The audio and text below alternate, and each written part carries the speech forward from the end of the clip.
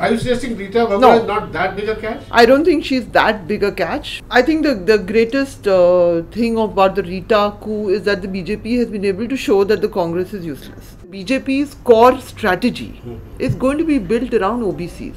OBC. OBCs with uh, Thakurs. Jats are actually not happy with the BJP right now. If Mayawati picks up momentum, her momentum would be based on a Dalit Muslim compact. The possibility of a divide is still very much there in the Muslim vote because he's a pleasant enough boy and he tries to go along, but uh, you know, he's completely powerless right now. Who do you think is the uh, has the advantage today as of today? I think BSP does. BSP does. But I think the BJP also is getting very close. Had the Congress been able to be in an alliance with any party, they would have definitely been a they would have been a player. Congress is really going to come out of this election very badly.